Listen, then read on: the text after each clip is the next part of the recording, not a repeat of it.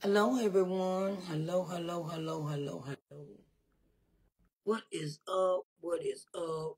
What is up? How is everyone doing today? I am doing fine, holding it together as best as I can. So, um, want to welcome everyone to Let's Talk Sunday. Um,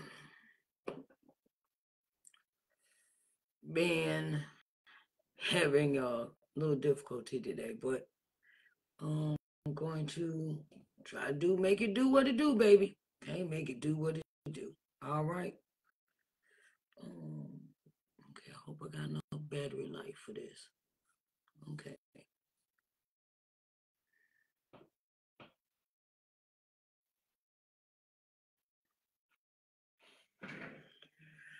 Let's see.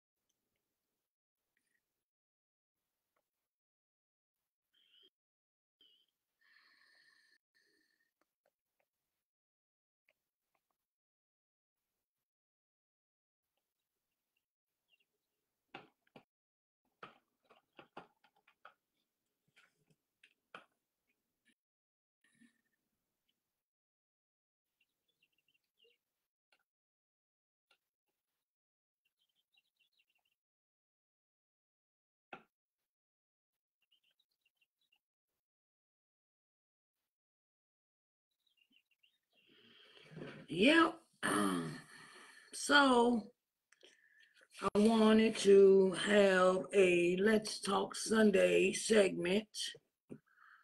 And you know, I'm you know, my name is Sharise Johnson Moore, and I am here to um let's see how does this okay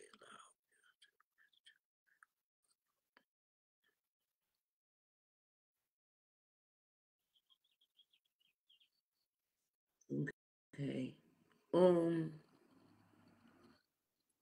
let me see if I can find her.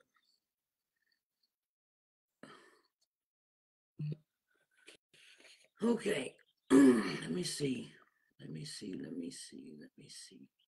What's that? Okay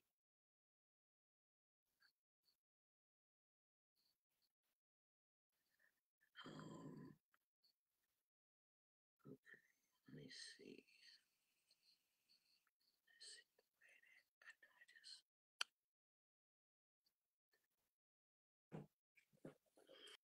All right. So, um, like I said, my name is Sharise Johnson Moore, and I am the owner of Sharise Johnson Moore LLC, where I help entrepreneurs. I help entrepreneurs gain exposure through uh, uh, through advertising, broadcasting, publishing, and marketing. And I want to say hello to everyone that is in the place to be. What is up? What is up? What is up? And um, Let's Talk Sunday is a segment where I created for all to come talk about the topics that mean the most to them, to to my viewers, to uh, all those that have, uh, you know, that their organizations, uh, that they are organizations that um hold, hold on, hold on.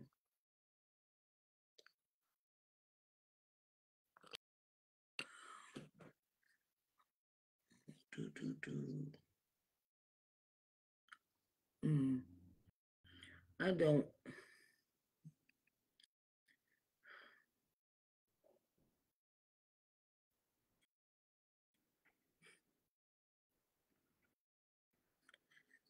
It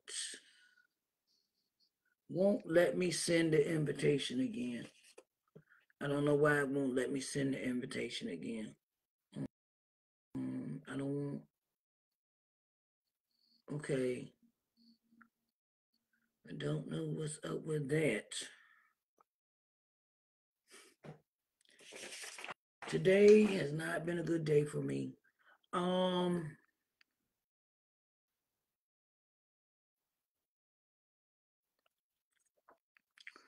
I'm trying. Don't know what is going on with this. It keeps saying to watch.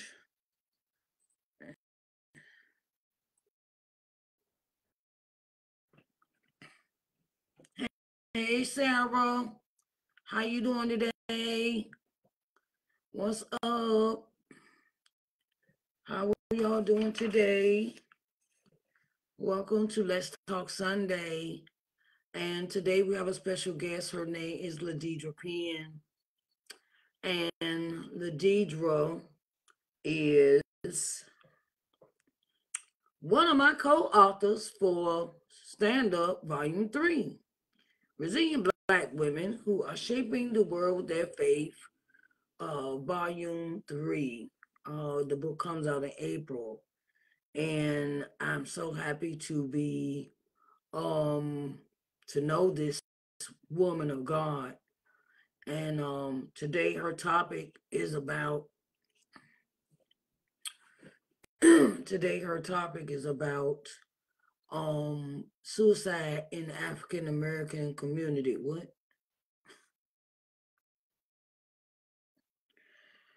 Okay, I don't know. Okay, so African American community. Um, today is a really trying day day for me, and I'm trying to hang in there today, cause the internet and everything is acting funny, and I don't.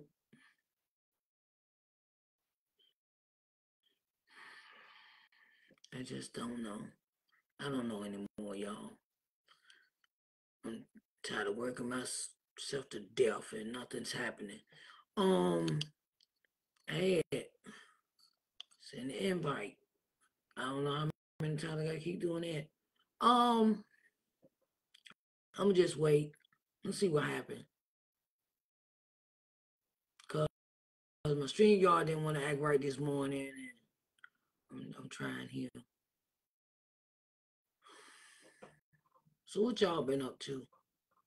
Sarah, what you been up to? Sarah. Hey, Sarah. How you doing, Sarah? Thank you for joining me, Sarah. I greatly appreciate you. I don't know. Do, do, do. Okay. Well, I'm going to just give you some background on my guest. Because, okay, this was um Miss LaDedria. LaDedria, LaDedria Penn.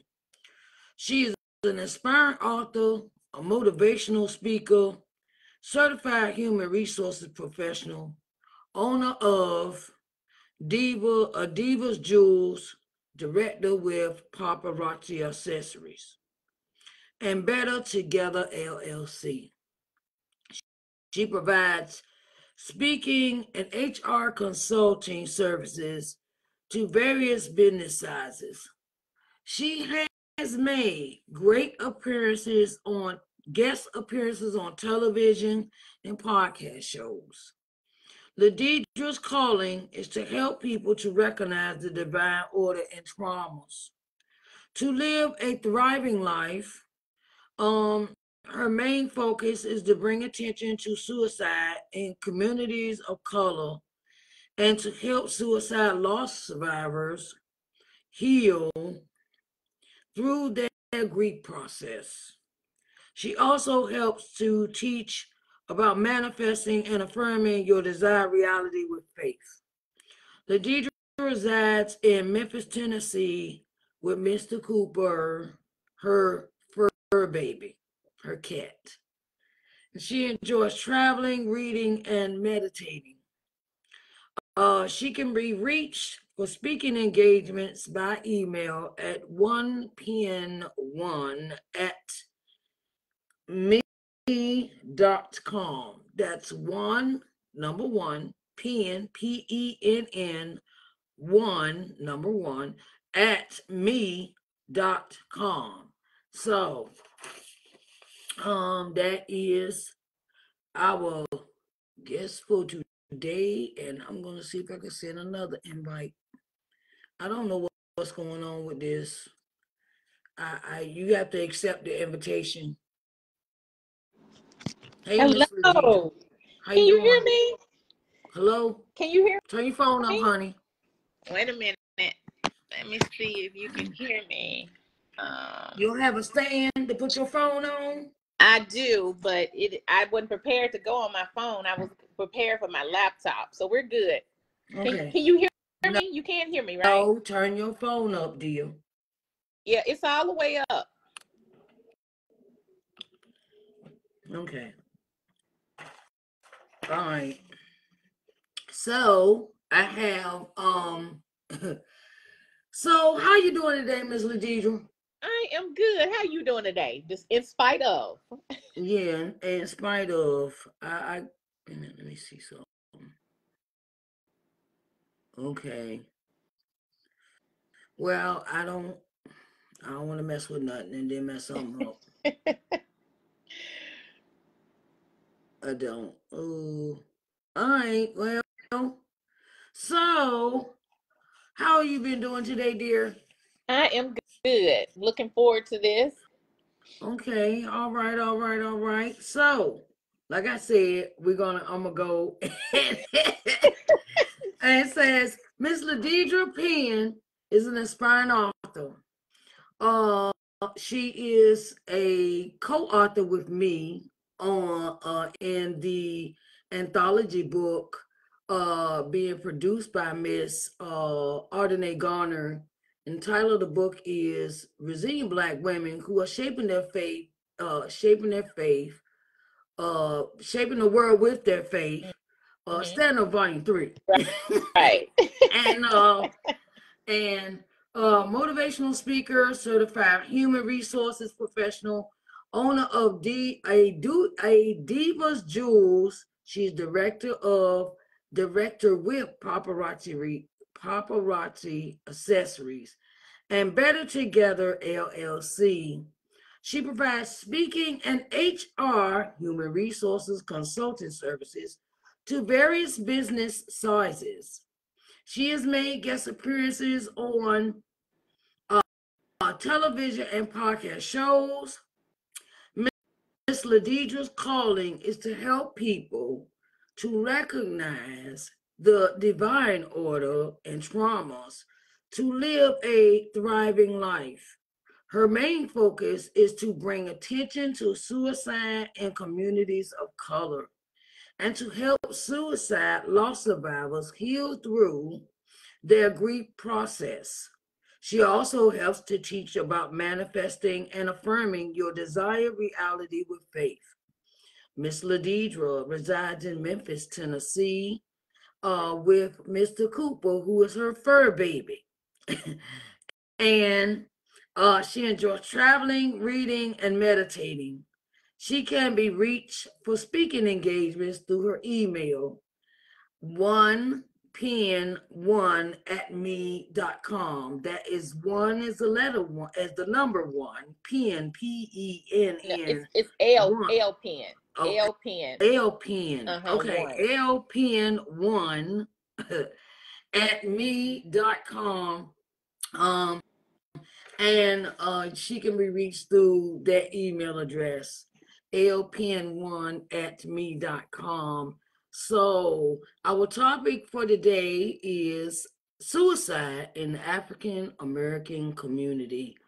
Uh, Miss LaDedria, can you give us your story?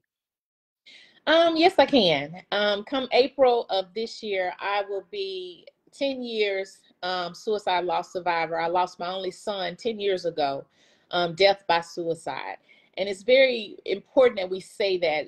I know we're in the habit of saying people commit suicide um, and things like that, but that's not the proper terminology due to the fact we don't say when a person died from a heart attack that they committed a heart attack or they committed committed just has such a negative overtone especially to suicide loss survivors like myself.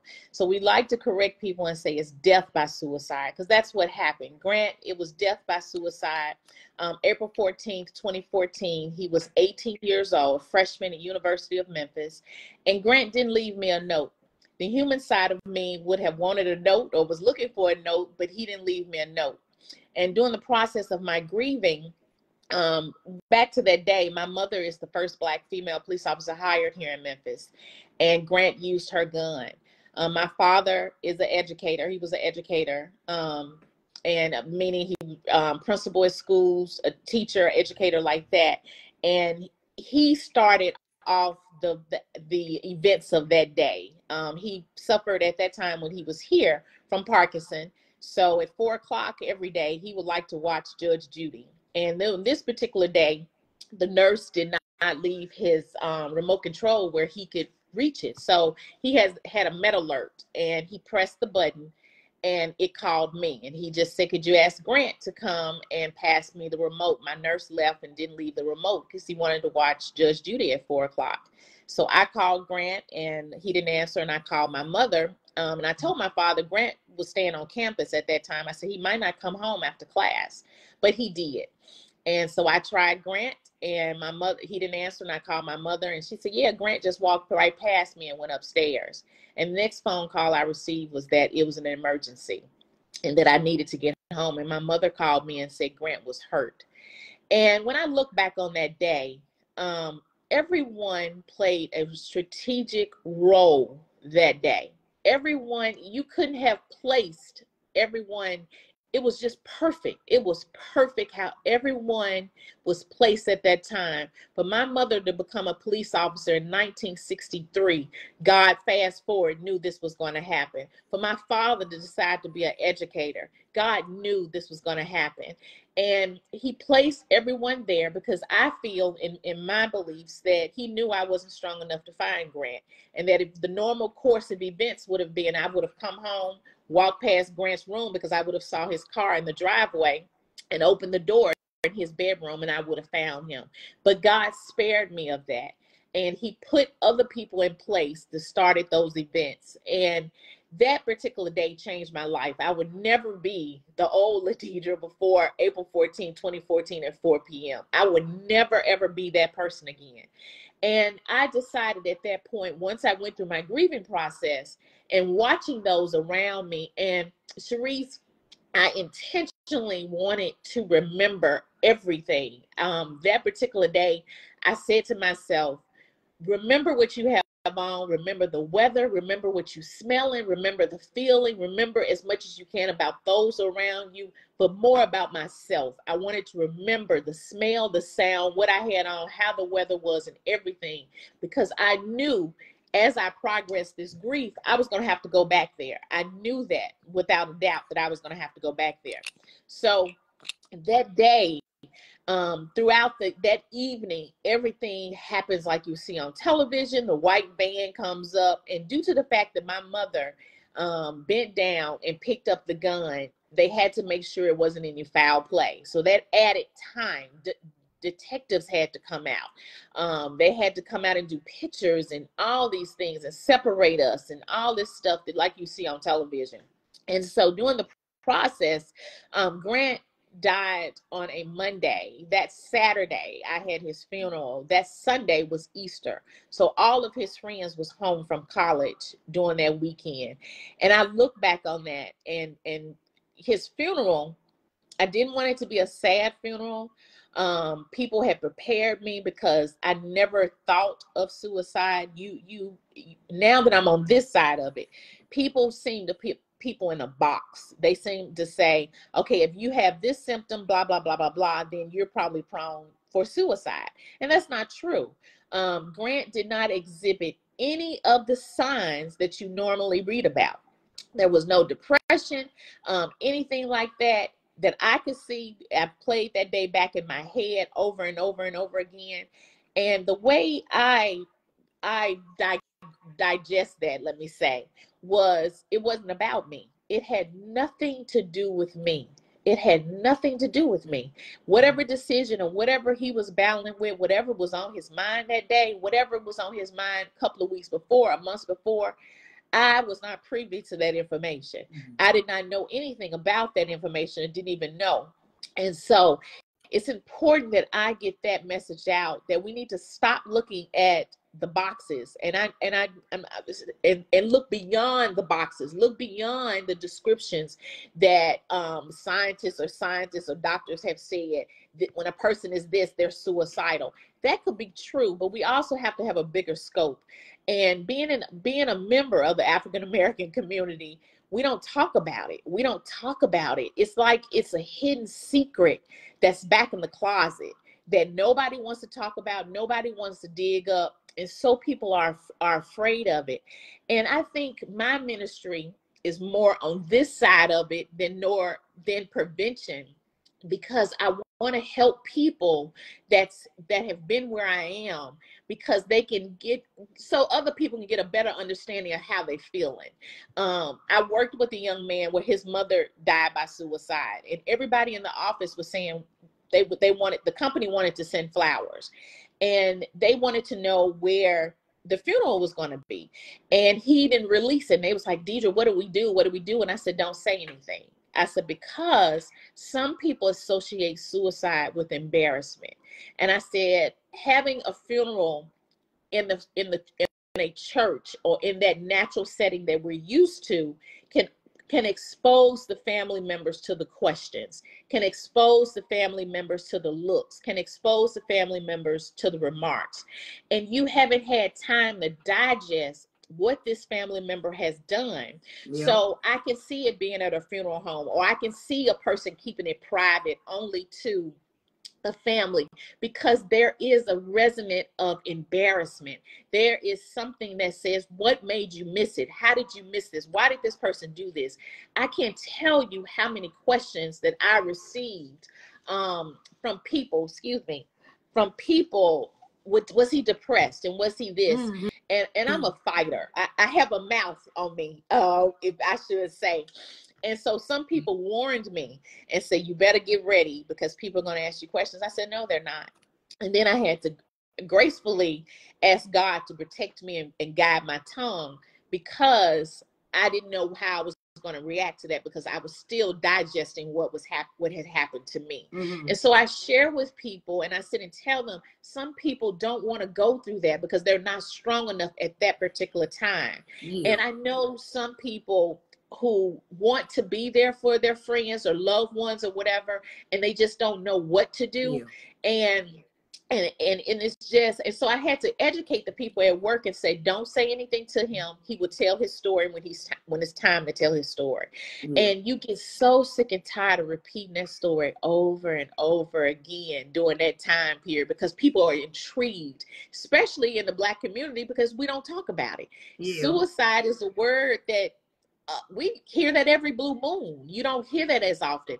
Now you hear it quite. Is it's not anything it wouldn't straighten yourself up to listen to a story if a person said they had someone or knew someone died by suicide because now it is coming to the surface it's coming to the forefront just like mental health mental crisis uh, yes. uh, mental issues it is a word we have to stop being afraid of. It's a word that's not associated with a person that's being bullied. It's it, we we seem so quick to see when i say um, grant died by suicide. Was he bullied no, he wasn't bullied. It's like the human side of us have to grab on to something to make it right in our minds instead of saying, no, he wasn't that. He wasn't depressed. He was getting up, going to school. Matter of fact, that Wednesday, he was going to be inducted into the Honor Society. He had already bought a ticket to do an assignment.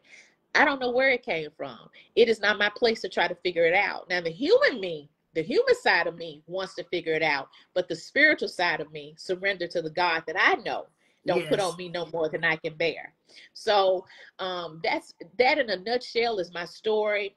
I decided that what was I supposed to do with this, Sharise? What why did God allow this to happen to me?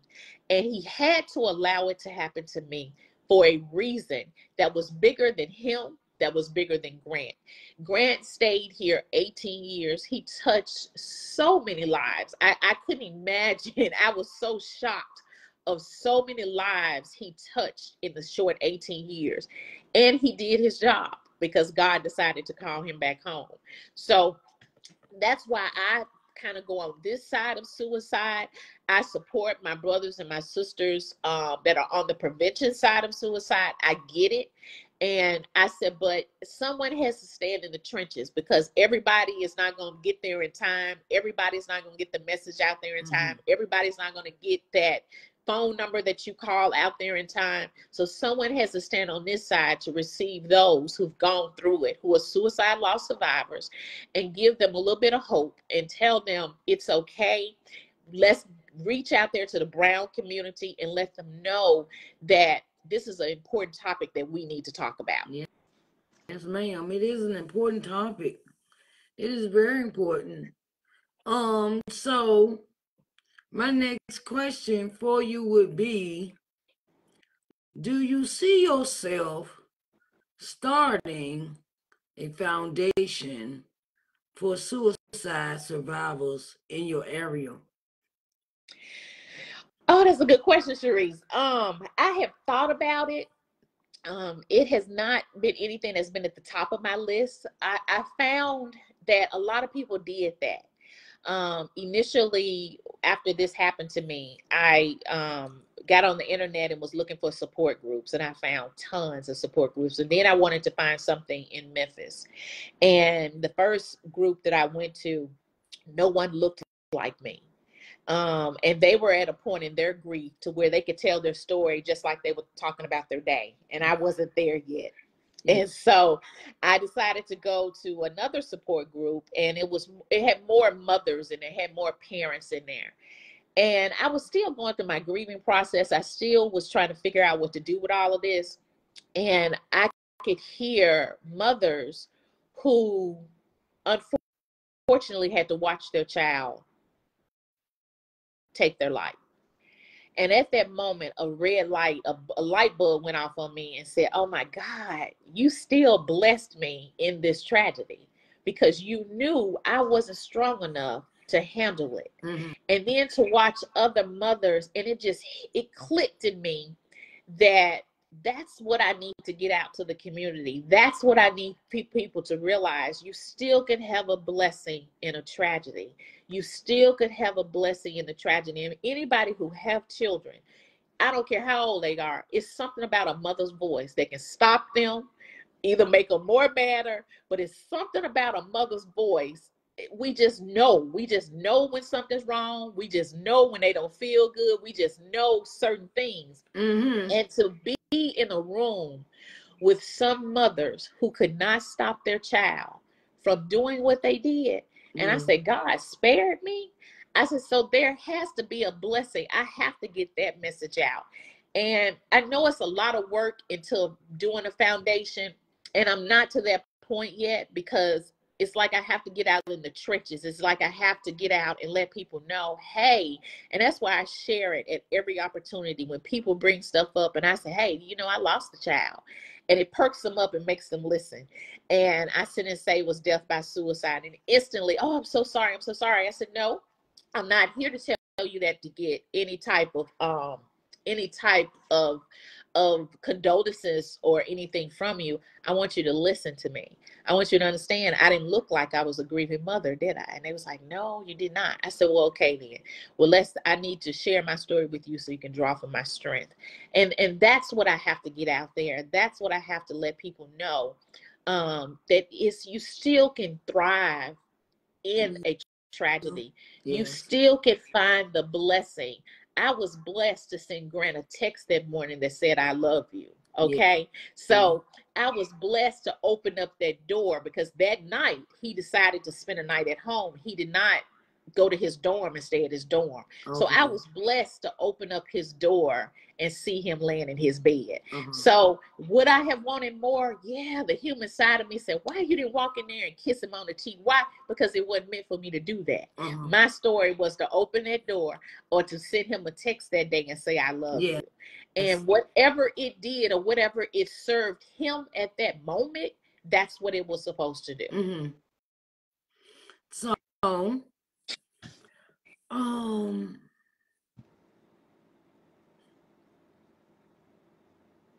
how many people, how many people have you spoken to in the last week about this subject?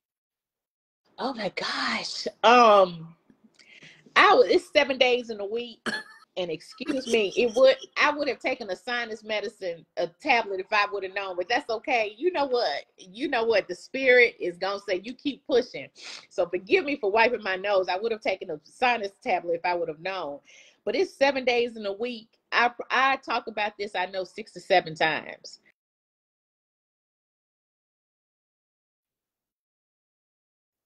To recognize the opportunity to talk about it at Mhm. the right moment because sometimes it makes people feel sad Yeah.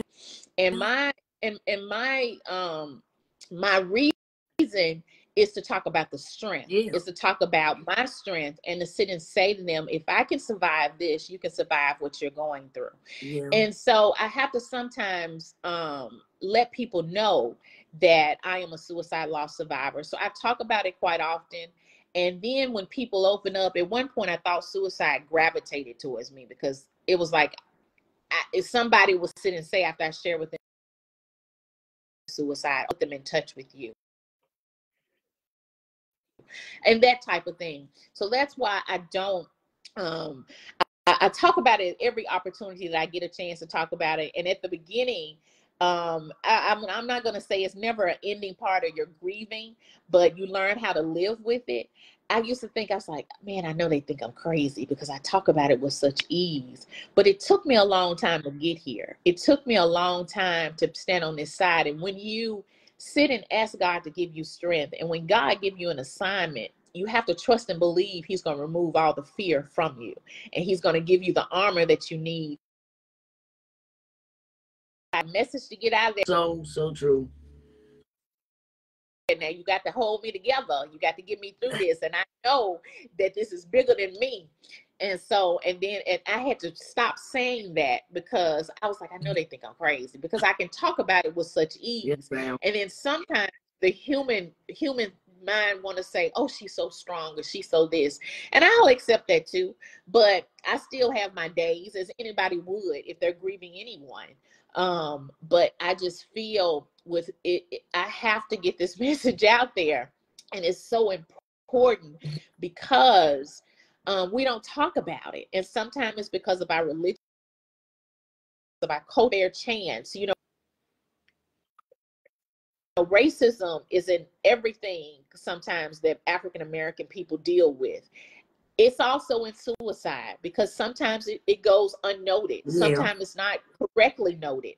And Mhm. that's not fair to us. Um, and so I and, and and we don't think about mental health. African American people are not given the fair chance of getting access to mental health like some others are.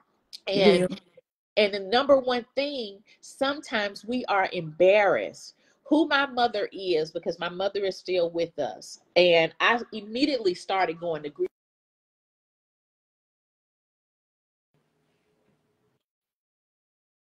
Too, or why don't you try it? Uh-uh. And you would have thought I cursed her out. You would have thought I said a forbidden word because from her era, they don't they don't do that. Yeah. They go to their minister. yeah. They go to their Mhm. minister Yeah. and they mhm. pray and it and it was just she was and to this day Yeah. she she just didn't want to do that Yeah. but what came out of that was learning that she never talked about coming home being the only black police officer therapist said she took that just like she taken her job when she Uh-huh. did her job and she, she just buried it. And so that's what she did with grant because i asked her two years after grant had passed. I said how did you bend down and pick up that gun? Yeah. and the first thing she said i had to save the victim. Not that i had to save my grandson i had to save the victim. So even that Mm. she switched back over to being a police officer, an enforcer, a public servant. Yes. and she did not see her grandson. She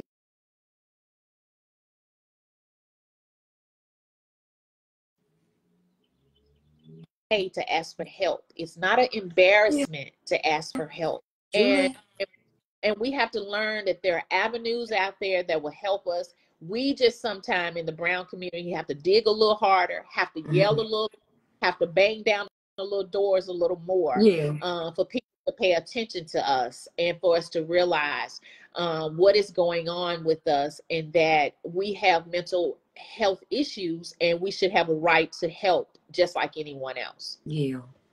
Yeah. So so true.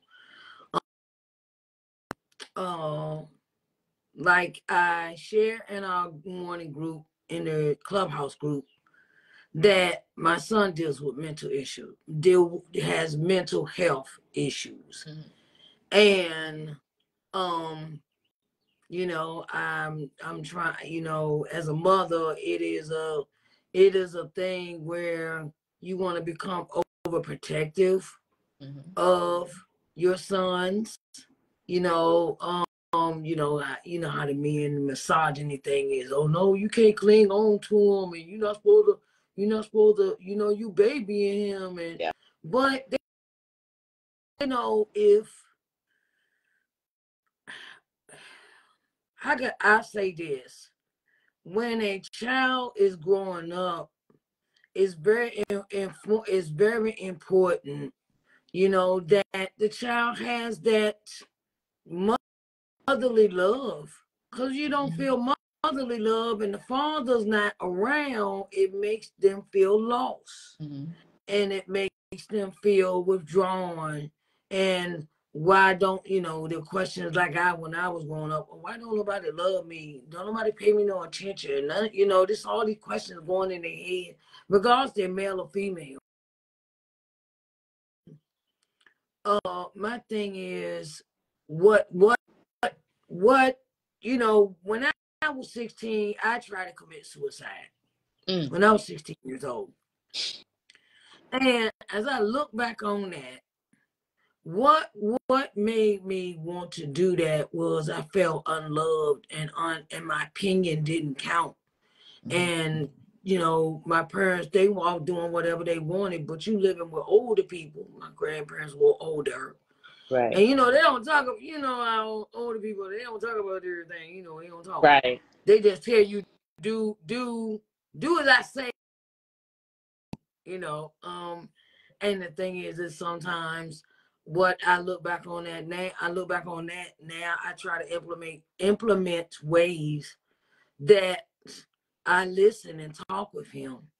I listen and have a conversation with him because when he was a child, because the state of mind I was in, uh, because the way my parents treated me, I treated my children like that. Well, no, I got time for you. Go sit down. You know, don't you got something else to do? And I brushed my kids off when they were growing up. But now I understand, look, they need somebody to listen listen to them. Listen. I'll stop me. You, you want to talk to me? And I'll stop me. I'll stop everything what I'm doing and listen what he has to say. Because I don't want him to feel ignored. I don't want his I don't want him to feel like he's unwanted because he has expressed to me, Mama, because you treated me like as a child, you made me feel like I'm not wanted when I get when I come for the attention that I seek from you. Right. And that's what made me and I I be like, okay, now I make myself mindful of that. That I'll stop what I'm doing. We'll sit down and talk and we we now we talk for hours and hours and hours. And I be like, I'ma just listen. I'ma just right. listen. Because when don't nobody it it it, it makes them have self doubt with right. themselves. So, you know, and he has, you know, he's expressed to me his problem with rejection mm-hmm. Because I caused that in in him to be a a a on his sleeve. Like if I, you know, um, you know, well, if I say Patrick, can you know you go do something else, he'll feel that form of rejection because he feel like I'm pushing him away. Right. But I be like, well, mommy has to work right now. Mommy got to do some work, you know. Um, and um,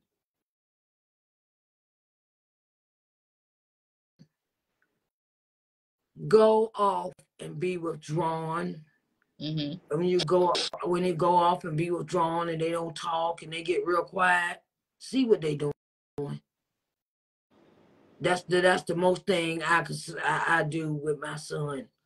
It's like when they get quiet or withdrawn, I go in there and say, okay, well, what you thinking about? You know, we want to talk? You want to, you want to, you know, you want to watch some TV? Let's watch a movie. Because all these things I'm telling you, I didn't do with my kids. I didn't right. make time for them. And I think that's my fault why they turned out.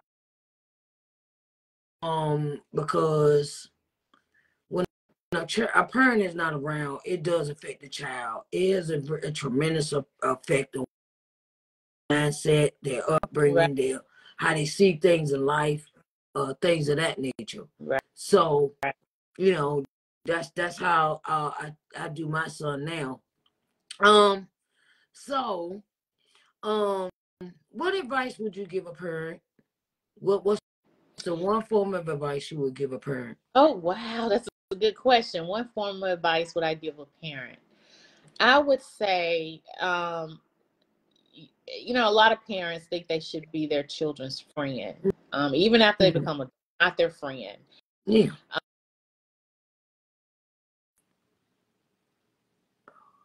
say to recognize your children, re- recognize their uniqueness, mm-hmm. understand that they're brought up in a different era that uh-huh. we that we were brought up in. Yes. Um, understand their voice, see what their personality is, and understand that you contribute to that. Yeah. You contribute to that as well as the man contribute to that. Yeah.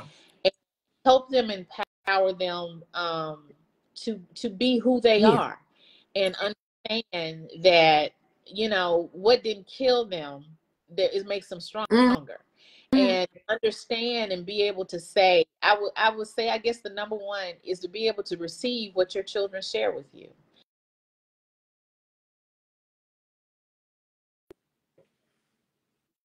my mother waited very late to have children you you couldn't or even in her she couldn't tell her parents how they treated her how she felt about yeah. them because at some point could have been a line of disrespect. But allow your children to tell you what their perception is of you. Yeah. And if it's true, it's true. And if it's something you need to work on, work on it. Yeah. It's okay vulnerable with your children because that was one of the things that was most uh, one of the things I remember mm-hmm. is what I call like I call it as passing the baton. Yeah. Yes. You you grow up as your parents being super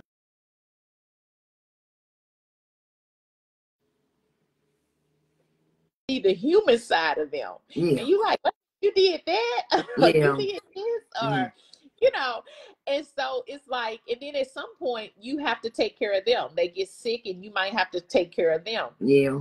So it's it's it's almost it's like understand that your children are human yeah. and understand that um you treat them as such. And like you said, we grew up in an era you don't do my mother smoked and she was adamant when I went away to school, you better not start smoking, but you smoked everything. Now I couldn't say that to her.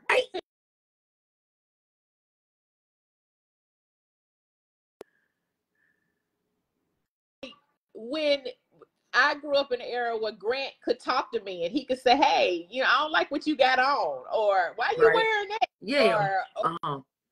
Mama, you did this, and yeah. it and it did it would straighten me up some because it was I had to teach him about his delivery, is how you say things. Amen. But I still owed him an explanation yeah. because he saw it and it was around and and so I would tell parents be able to receive what their perception is of you because they see and they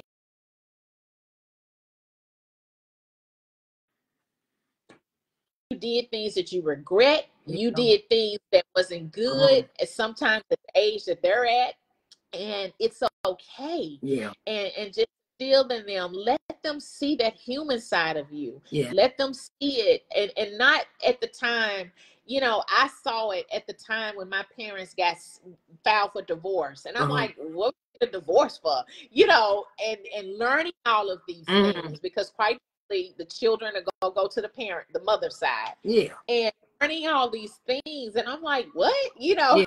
we were all in it together, Uh-huh. but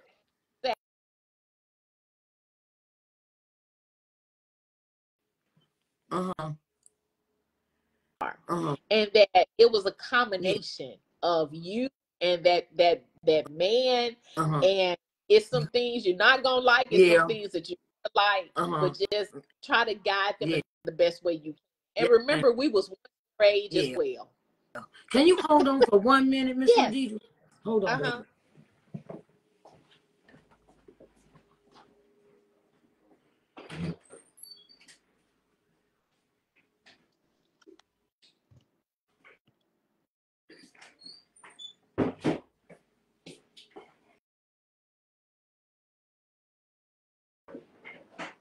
Baby.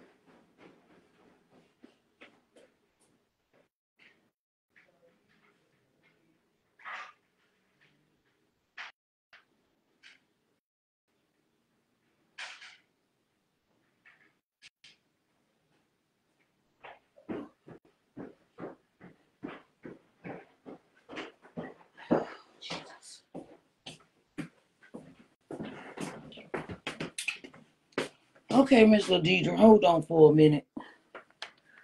My phone wants to go dead on me.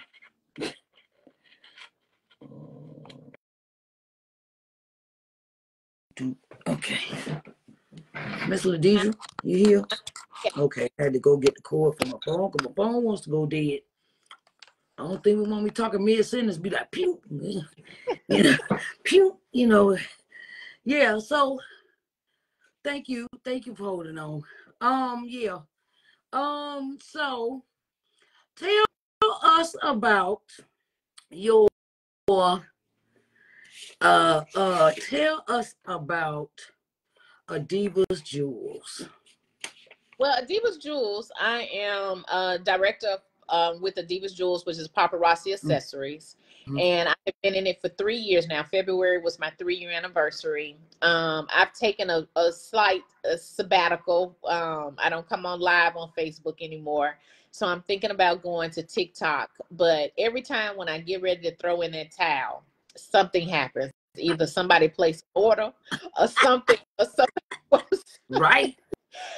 so it's like you know I, I consciously go to prayer with everything and so Mhm. i said know what? I'm gonna surrender to this. God you will let me know when it's time to put this five dollar jury up. Right. So i have surrendered to it and um, building my store on tiktok.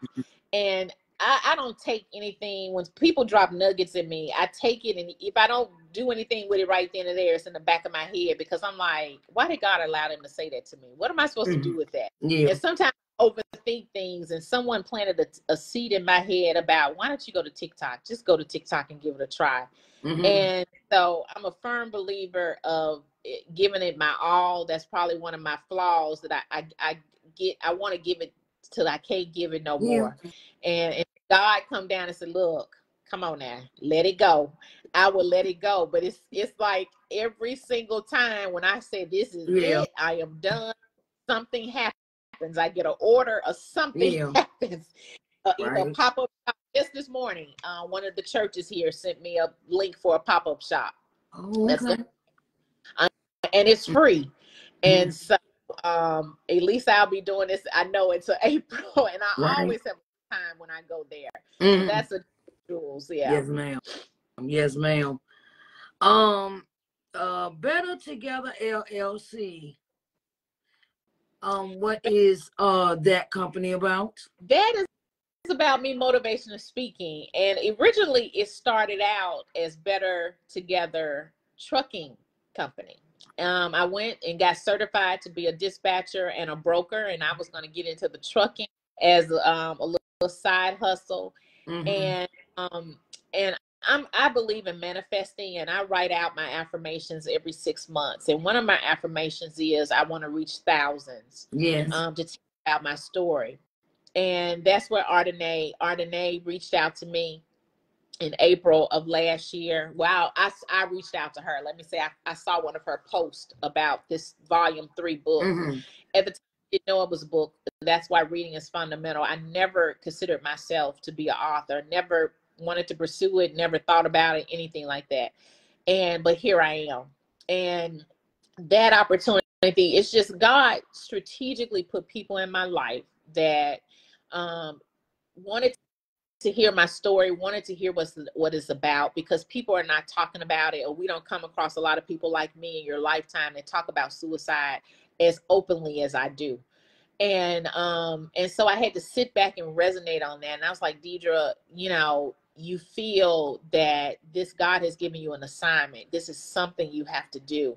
Um, because I just have to bring it. You, you know, if you were brought up by a Madeir, uh, a grandmama or something, you always had a, a room in the back of the house. And either in that room was a family member that was either sick in a hospital bed or a family member the family just didn't want everybody to deal with and so they housed back in the in the, in the in back the room. In the, in back, the back of the room. in the dark.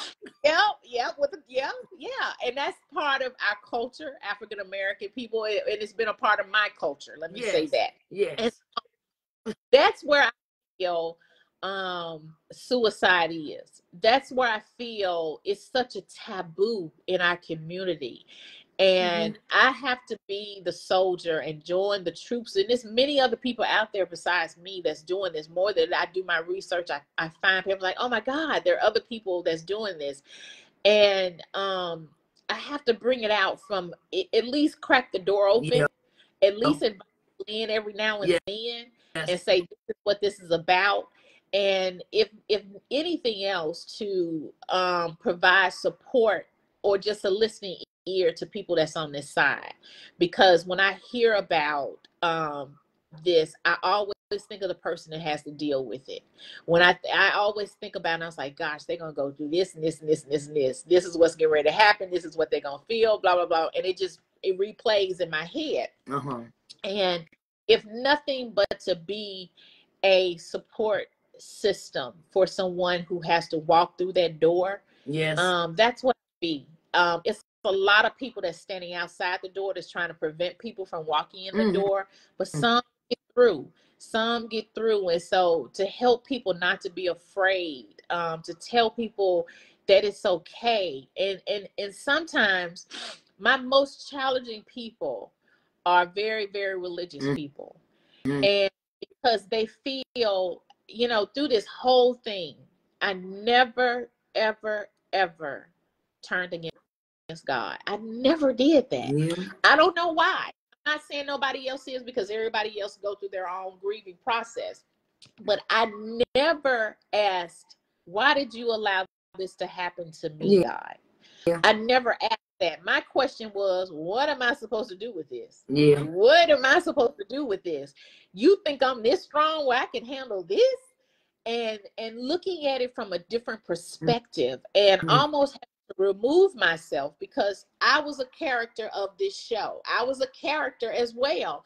So removing myself and starting from the beginning of that day all the way down to the end and looking at it from a perspective, I'm sitting in front of a television watching a show mm-hmm. and looking for the blessing that God allowed everyone to play their role. Yeah. So if I can get one or two or three or 4 mm-hmm. or five people, yes, ma'am, like that, who's joining me now in this room of suicide, it helps a little bit with your process. Yes. It helps a little bit with your grief.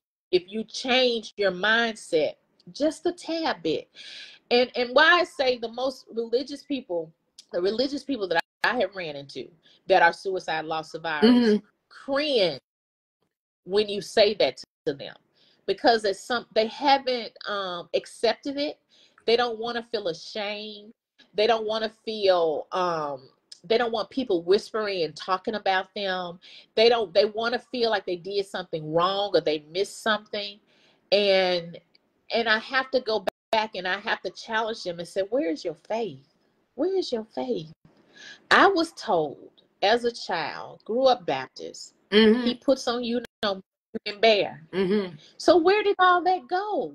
Why are you letting go to something that you hold so value to your life and to your heart? Amen. And why are you applying that to this, Yeah. I know it hurts. Yes. I know it hurts. I know the unbearable pain, but still, where is your faith? Mhm. And feel that everything happens in divine order. Yeah. So why can't we grip onto that and let that be our life, our life boat or our life jacket? Mhm. Grab onto that Yeah. and let that bring you back up to the to the top. And be determined just to change the way you look. And don't worry about everybody else. We don't worry Yeah. about Yo. I can't tell how many people whispered, how many people said anything. Mhm. Um, it have boundaries. Just don't let me hear about it. don't let me hear about. It. Um, I had some people who cross lines. That's why I'm able to talk on this side of it. And I ask God to gracefully, Mhm. gracefully guard my tongue.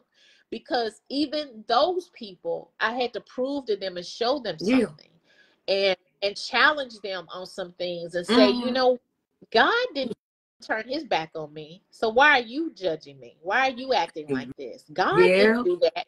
So it's like Yeah. that's why most challenging people are sometimes the most religious people because I have to remind them. And Mhm. I've had to say out, you know, we had one little trend we went through, what would Jesus do? And I sometimes have to tell people, what would Jesus do? You're not even acting like Jesus. So what? Don't come to me with that. Don't ah, come to me right. that. Right. Because- Right. regardless of the point, Yeah. regardless. And some people have said to me, you look at it like this because that's the way you deal with it. So what? God allowed me to think it. He allowed me to survive it. He allowed me to, to carry the message. So that's what I'm going to do. And if that's the way you perceive it, that's fine. yeah. But I still feel that things that happen in my life, I don't care what it is, even if it's bigger than suicide, Mm. I don't care what it is. yeah. If you change your mindset just a moment and and and understand, Yeah. and especially if you are a religious person and Uh-huh. understand God still, even though something happened in your life that Mhm. hurt you, that caused you pain, Yeah. and probably changed you. And you have to look and say, what am I supposed to Yeah. get out of this? Yeah. What it, what is this doing? What am I supposed to do with this? And understand and try to deep down. And when I tell you, when you waddle in something, some people some people have called me and somebody is, you know, have passed and like, Deidre, what am I supposed to do? Because nobody ever know what to say. As old as we are, and many people that we know have passed, and we all, I don't know what to say. Don't say nothing. Just don't say nothing. If you're gonna take food, take food. Don't say anything because there's nothing you can say to bring the person back. Let no, that person not. walk You know, I, it, pain. yeah, I know. You know, I, I, I, I've dealt with that when it came to death of my grandmother, my grandmother, and then my Uh-huh. father, and then my mother. You know, they all behind each other. And I was sitting. I remember sitting in my father's funeral, and I asked Lord, "What are you trying to teach me with this? What what's this about, Lord? You know?" And um, then I really got the message what God was trying to tell me with the six months later my mother died. Mm. I was sitting in her funeral and I was sitting there, you know, I had my breakdown moment. That's, you know, you view the body the night before the funeral. Right. But that next day, it was like I was in a like a like a la la land, like la la, you know. And I was sitting on the pew. My brother was the old brother was talking, and I, I heard the voice of the Lord say, "Now, now it is time for you to write your book." I'm sitting there looking around, you know, like, okay, um, anybody else hear that? um, I said it, you know, to myself. So I was sitting there. My sister said, "You all right?" I said, "I'm fine." She's sitting right here beside me. Right. And then I heard voice again say, "Now it's time for you to write your book." And I'm, I'm like, man, you know, I said, I said that out loud, man. My sister said, "You talking to me?" I said, "No, baby, no, no, no, right." So, uh, there a few more minutes, and the voice clearly said it again. Say, now it's time for you to write your book. I said, okay, Lord, whatever you want me to do, I will do. My sister said, is you talking to me? I said, no, child, I'm saying talking to the Lord because he just gave me a message. So she was like, hmm. You know, um, you know, death, uh, death is not. I had to relook at death. I had to reevaluate evaluate death, and those three deaths catapult, catapulted me to become the person God wanted me to be. Right. Not, you know, um, how could I say this? I was the most coolest, calmest person when my grandma died. My grandma was really my mother. Mm-hmm. And I was the coolest, calmest person. And, you know, and people saying things to me and, and they off the wall stuff. And I'm sitting there like the Lord said, He cleared my tongue a lots of times to not embarrass people and tell them what their son did to me growing up. I had to clean my I like, no, you want to be disrespectful to old people, you know. You right. they older. So I always have respect, you know. Um, but God changed me into a different person with those three deaths. And not I looked at death. I, I look. I, I, how could I say? I've experienced it as a little kid with my great grandmother, my grandfather, cousins, and all them. You know, but it's different when he hit home. Right. It's different. My granny. Okay, yeah, okay. I dealt with that. Great grandma. Okay.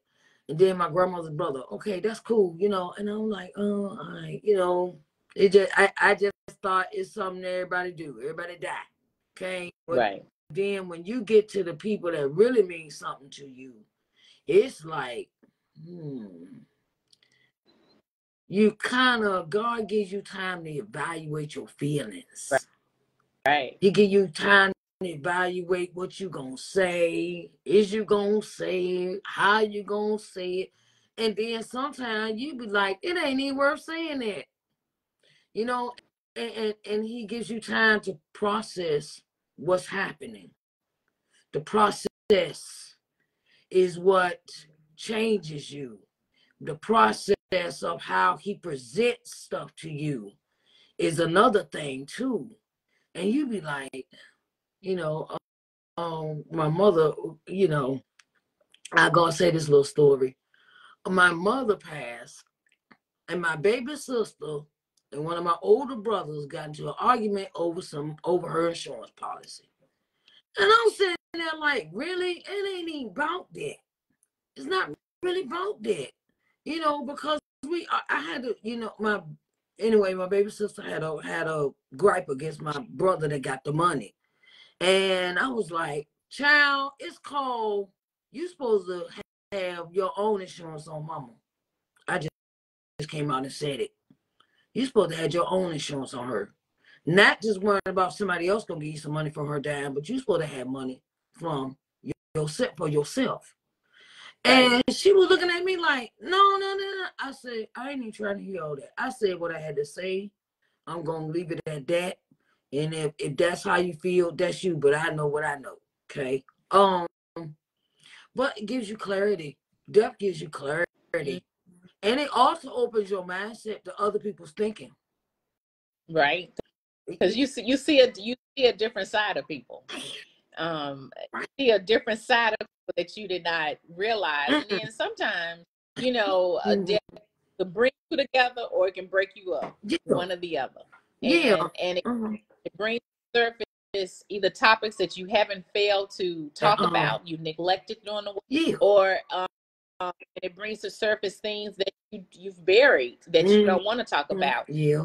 yeah. That's the point, like what you're saying, mm-hmm. that if I can get people to look at their tragedy like that yeah. and say, what am I talking about now? Yeah. What is, how is it making me feel mm now? Why did I not speak about that when mama was alive? Yeah. Why didn't I talk about this my siblings when she was alive or when my dad was mm and and that's like the that's the end and it's like there is another blessing that now unfortunately this death have brought you on one yeah. accord yeah. fortunately death is a blessing mm-hmm. that is brought this topic back up to the surface yeah times it's going to be painful things yeah. sometimes be i remember when you did this to me and i didn't like it mm-hmm. or i remember when you lied to me and mm-hmm.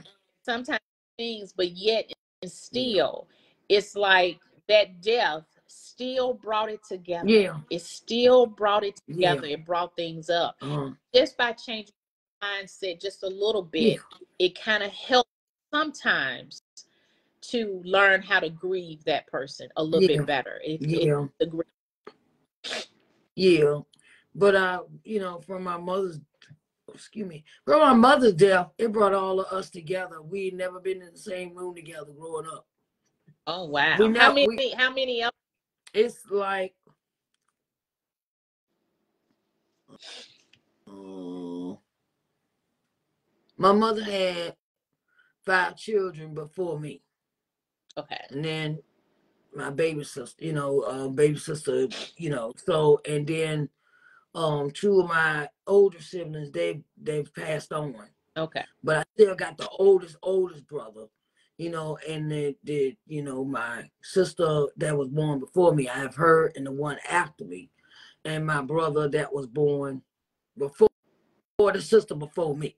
so that's we you know, um and and it's a, it's a thing of we've never been in the same room together until her funeral. Never, Wow. never together until that moment. And I don't know. I mean, yeah, you know, we- but you, but the thing is, if, if we were together, that mm. was the main. That was the main. That was what made me happy. That Right. we were together, regardless of Mama passed.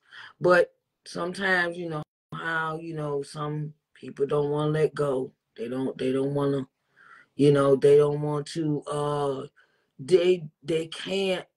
They can't process the death of mother because now they want to strike out at everybody. Now they want to be gone away from everybody. Everybody together, and you want to go off somewhere else. Um, excuse me, but we got company. You know. And Sharise, you know what? And I hear a lot of that all the time, especially among siblings. It's just my brother and I. And I, ha- you know, some people will sit and say, you know, they weren't there, they didn't go to the hospital, they didn't do this, and they didn't do that, and they didn't come and see the person, or they didn't do. And we have to understand that a person can only do what they can Yeah. do. And I tell people, I said, try not to land on the negative part of that because we only can do what we can do. Um, some people will put here on this earth where they can and making a lot of money um, having a funeral home. They can be around Yeah. dead people. I can't. I, I can't do that. Um, I don't like hospitals. I can't tell you how many times before I walk into a hospital, I ask God to guide and and give me Mhm. do what I need to do. And Yeah. so I tell people, I said, everybody has a role to Amen. play. That's not their Amen. role. They can't. And why, why would you want this person to do Yeah. something they're physically or mentally incapable of Yeah. doing? And sometimes we have to stand strong for others. Yeah. When people get sick, a lot of people are revealed Yes. your siblings who said, "Oh, they didn't do this and they didn't do this." I said, "Well, maybe they couldn't do it. Have you thought Yeah. about planning with something negative? Yeah. Maybe they physically or emotionally could not do it. Yeah. And it is human nature for us to Mhm. protect ourselves. If something is burning, we're gonna get away. If something we don't feel good, we go take medicine. It's Mhm. human nature for us to protect. Yeah, man. So why is that?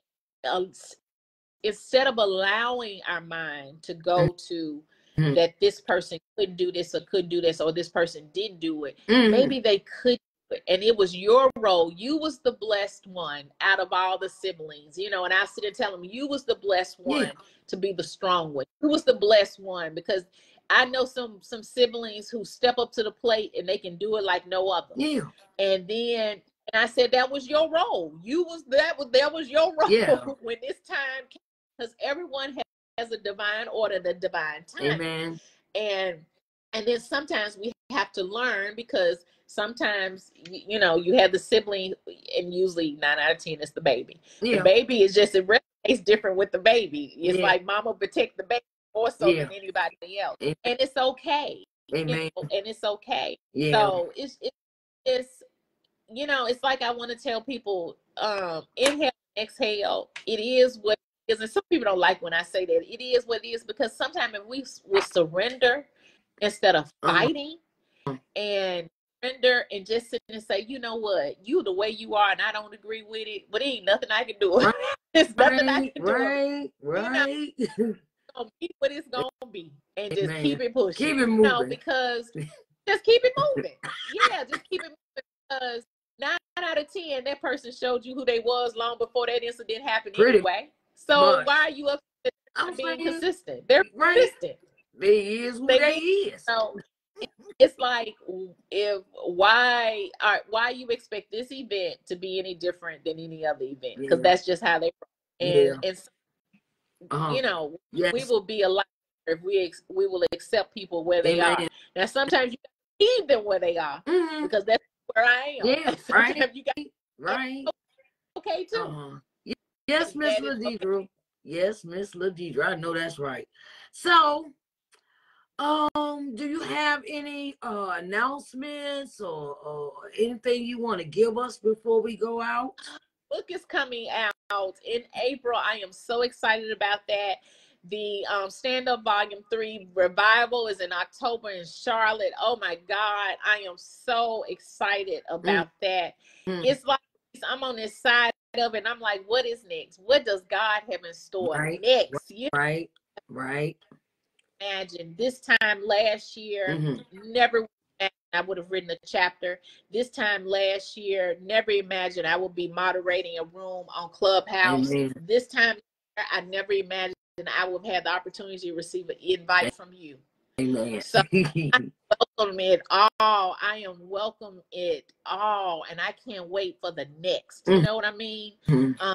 wait to see what's happening next. Um, God is not allowing me to let go of a diva's jewels. And what I'm saying is, what am I supposed to do? What am I supposed to do with it? And I receive it. I receive whatever the assignment is. I am Mhm. taking um, Better2gether LLC, a motivational speaker. Wow. I got to get suicide out there. I got to get us talking about suicide, not to be afraid of Uh-huh. talking about suicide. I let us receive everyone who is suffering from and don't know how to deal with it on this side. So that's what my next is. I Uh-huh. can't wait to share. I appreciate you sending me the invite to be a part of your on fire. You are a phenomenal. I mean, gosh, you do this with such ease. You sit up here and say you just so calm about it. And I'm looking, I'm like, oh my God, what am I supposed to do? I've been on pins and needles all morning, but you are so calm about it. So I appreciate um, you inviting me here and allowing me to speak. I You're really do. Thank you so You're welcome. You know, you you um you you know, we girls, you know, we girls, you know, we we home girls, okay? So, you know, and that's the that's why we do. That's that's how that's how we do in our resilient black women group, you know. So um I greatly appreciate you coming. I greatly appreciate uh we we we we, we will be seeing each other in October. Okay. That's right. All right, and we're gonna be seeing each other in April too. So, you know, uh, you know, we we had that sisterhood, and I greatly appreciate you, Miss LaDedria, and I greatly uh say, um, uh, I know you're gonna have a blessed day, and too. I know that I love you, and I will talk to you later, my dear. Okay. so much, and I love you too. Thank you for being you and inspiring oh. me. Thank you so much. Oh, I you- appreciate you. You're welcome. All right. I'll talk to Okay. you later, okay. All right. Bye bye. right. Bye bye.